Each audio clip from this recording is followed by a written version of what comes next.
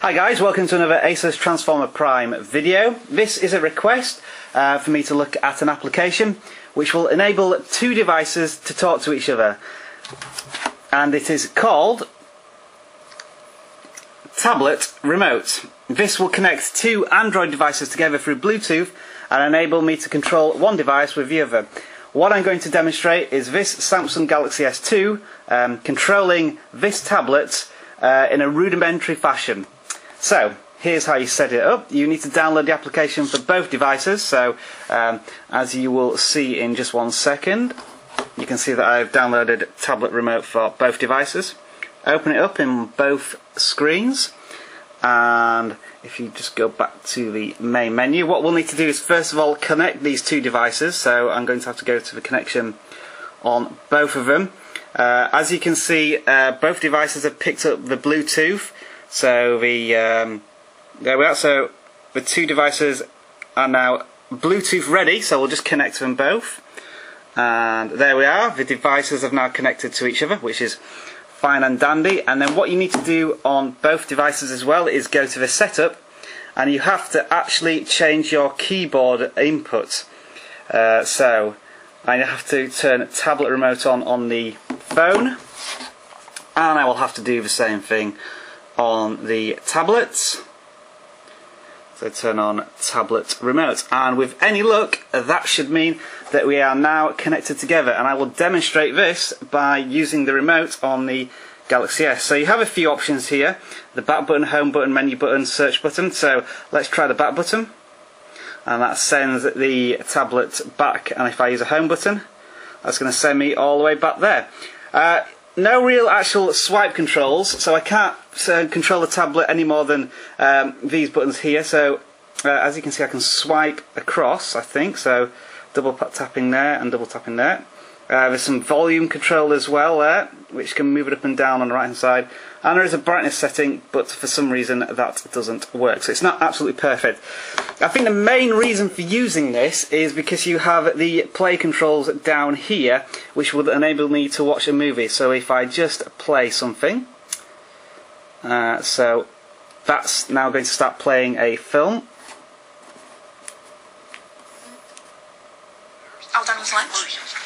So we have a film playing there, and then we can choose to pause it. Or we can, in this case with the MX video, I can track back 20, 10 seconds and just uh, a little bit of tracking feature there and then tracking forward.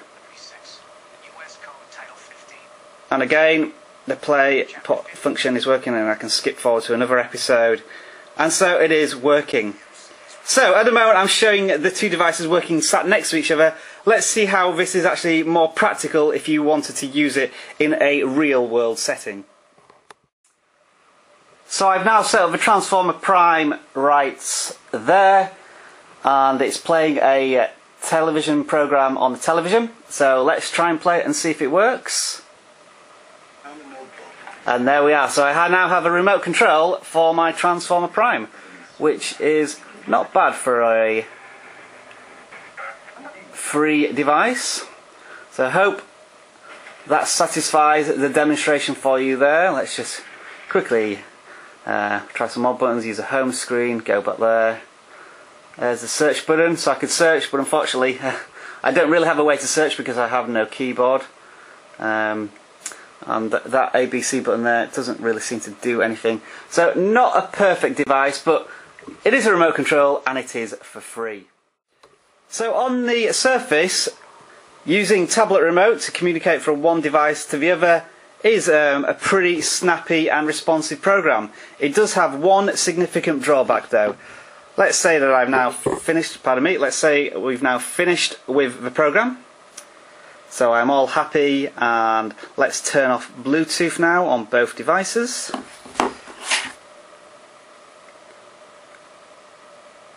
So now Bluetooth is off, I'm happy I've finished with my um, movie watching, so let's go and go on the internet.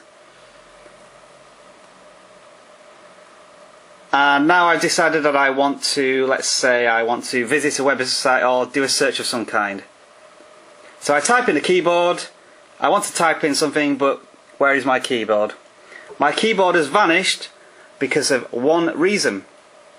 I have forgot to turn off the keyboard on the program. So as you can see, we, the input is correct for tablet remote, but it's not useful for anything else. I need to actually turn back on my keyboard. And if you forget that, then uh, obviously that's a bit of a problem until you remember to fix it. Sounds like an insignificant thing, but if you're going to have to turn on and off the keyboard all the time in order to use a remote, that's going to put a lot of time and a lot of setup onto using a device. So again, let's go to um, a text message. Let's try and reply to this text. I can't reply to a text because my keyboard isn't there because I forgot to go to the tablet remote